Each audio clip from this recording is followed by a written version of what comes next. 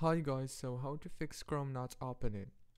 First thing, go to the settings here and search for Chrome. Click on your right mouse, click on open file location, click on open file location again right here.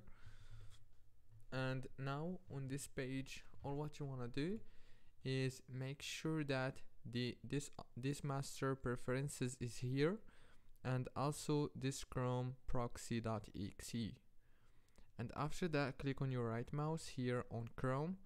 Click on run as administrator. Click yes and that's it. Don't forget to like and subscribe